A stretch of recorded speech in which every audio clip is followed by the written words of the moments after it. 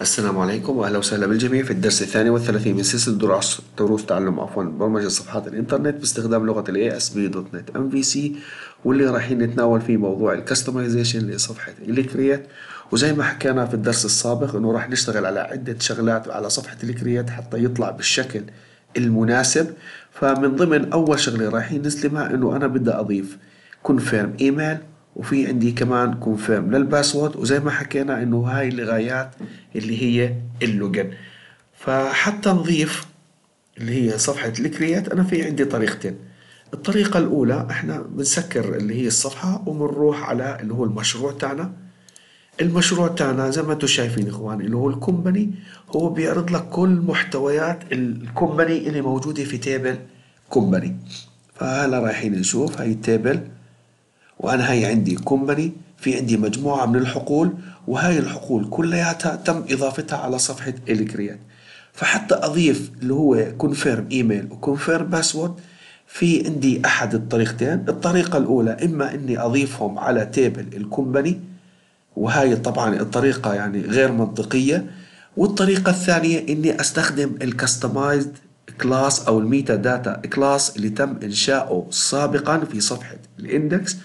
وهو هاي ال controller موجود بال controller عفوا موجود بالموديل ومن ضمن الموديل في عندي customize لل company وزي ما حكينا ال customize لل company مكون عندي من two classes ال partial class اللي مربوط بال model company وفي عندي ال meta data class اللي هو ال class الثاني وحكينا إنه الفرق اللي بيناتهم إنه ال class الأولاني هو لغايات إضافة property جديدة ال class الثاني هو لغايات التعديل على ال properties اللي موجودة بالموديل اللي هو company ففعليا حتى أضيف ال confirm email أو ال confirm password أنا ما راح أشتغل على ال company meta data أنا راح أشتغل على ال partial class المربوط بال class company وزي ما حكينا في الدروس السابقة هاي تستخدم أو ال partial class يستخدم لإضافة properties جديدة غير موجودة بال database فإذا حابب أضيفها أنا بضيفها في هاي الجزئية. ومن ضمن ال properties اللي أنا راح أضيفها اللي هي ال confirm password وفي عندي confirm email فحتى أضيف هاي ال property مباشرة بنتبع هاي الخطوة. الخطوة الأولى أنا بكتب كلمة prop أول ثلاث أحرف من properties وبكبس tab مرتين مرة أولى مرة ثانية. فراح يطلع عندي by default properties وبنعدل عليها. فعلى سبيل المثال أنا في عندي عفوا conf email هاي أول property وال property الثانية بنفس الطريقة prop بداية ونهاية عفوا tab و tab فراح يطلع عندي ال property الثانية وهي خاصة بال conf اللي هو pass هلا ال confirm email by default ال type تاعته اللي هي string وبنفس الطريقة ال password ال type تاعته هي عبارة عن اللي هو string هاي عملية الإضافة. فتم إضافة two properties لكنها غير موجودة بال database تستخدم لغايات معينة على سبيل المثال اللي هي confirm فحتى أضيفها على صفحة ال create بنروح على صفحة ال create وباجي بطلع على الكود اللي موجود أمامنا. فزي ما أنتم شايفين إنه كل column موجود ب اللي هو صفحة ال create هو تحت class أو div يسمى div class form group ويتكون من ثلاث أقسام رئيسية داخل ال form group اللي هو ال label هو جاي من الموديل ورايحين نحكي عنه بال HTML helper في عندي ال control ال editor for وفي عندي ال validation فأنا إذا بدي أضيف مباشرة طبعا إحنا بنسيف في البداية باجي بطلع على الإيميل هي عندي ال email form group خاصة بي اللي هو الإيميل بعمل منها copy وبروح على اللي هي أسفل ال class بعمل له paste فصار أنا عندي هنا إيميل وهنا إيميل. فالموديل باجي بحكي له model dot وبختار أمر conf email بنسخها copy وبروح على ال control. هو عبارة عن control خاصة مش من للإيميل هو لل conf email. وال validation هي عبارة عن ال conf email. فحتى نتأكد إنه تمت الإضافة مباشرة بنروح على اللي هو صفحة ال create عفوا. وبنعملها اللي هو run بهذا الشكل حتى نتأكد إنه ال conf email تم إضافته بصفحة ال create وبنستنى عليه شوي.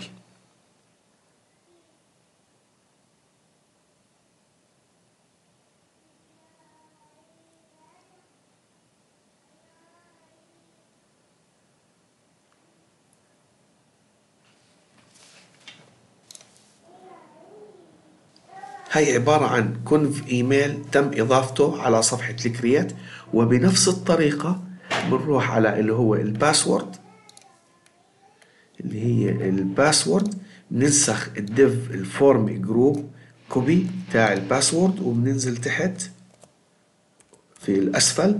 وبدل ما نحكي له password وبنحكي له هو conf password على مستوى ال label هي واحد وعلى مستوى ال control هي اثنين وعلى مستوى ال validation اللي هي هي رقم اللي هو ثلاث. وحتى نتأكد بنرد نعمل run مرة ثانية. حتى نتأكد من الإضافة.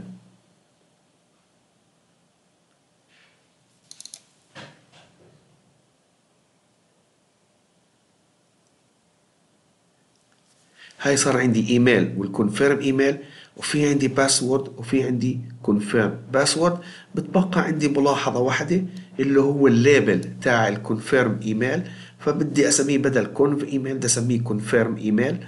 وبدل ال conf password اسميه confirm password فبنفس الطريقة اللي تم تغيير فيها ال column الخاصة بالأعمدة بنفس الطريقة بنروح على ال customize class اللي هو ال customize company وتحديدا عند مكان إضافة ال two attribute وبنتعامل معها زي ما كنا نتعامل مع الحقول الخاصة بعمود أو table اللي هو ال company فال conf email بنحكي له من ال metadata بنستخدم ال display لغاية تغيير ال header فبنحكي له ال name equal confirm email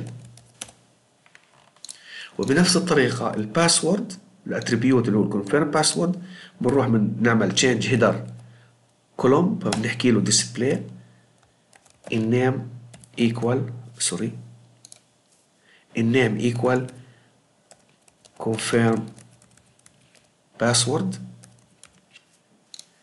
وبنعمل حتى نتأكد بنروح بنعمل مرة ثانية على صفحة ال create run وبنتأكد إنه تم تغيير اللي هو ال header name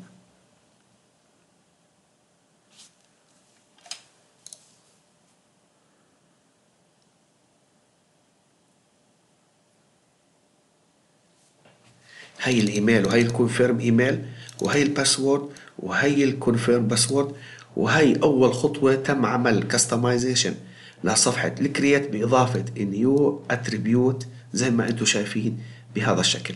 بالخلاصة اللي بدنا نحكيه بهذا الدرس إنه أي attribute غير موجود بال tables وبدي أضيفه على الصفحة مباشرة بنروح على اللي هو الموديل وعلى ال customize company أو ال metadata. class فأي attribute بدك تضيفه غير موجود بال company model مباشرة ينضم يتم إضافته من خلال ال partial class فزي ما شفنا هي ال confirm email هو غير موجود ب table ال company ولا هو موجود بالموديل اللي هو company فحتى أضيفه بنروح بنضيفه على ال partial class نفس الفكرة اللي هو ال confirm password هو لا موجود لا بال table ولا هو موجود بال model company فيتم إضافته داخل ال partial class واللي حكينا عنه في الدروس السابقة إنه ال partial class يستخدم لإضافة new properties غير موجودة بال model company زي اللي هو ال confirm email و confirm password أما إذا كان ال attribute موجود في ال model company أو في table ال company فيتم إضافته من خلال ال class الثاني اللي سميناه إحنا company. metadata واللي حكينا الغاية منه هو تعديل على إشي already أو على موديل أو عفوا على property already exist أما في حالة الإضافة فيتم إضافته على ال property ويعامل نفس معاملة ال attribute أو ال property اللي موجودة بال company metadata من خلال إضافة اللي هي ال attribute اللي هو ال display وغير ذلك. بتمنى يكون كل شيء واضح. شكرا لحسن استماعكم. يعطيكم ألف عافية. السلام عليكم.